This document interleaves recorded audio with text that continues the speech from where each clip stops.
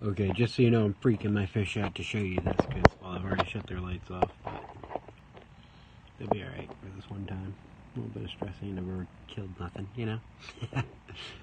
but yeah, that is the Blind Cave Tetra. Born with eyes, and then they absorb the eyes after as they grow. I get out of the light a little bit.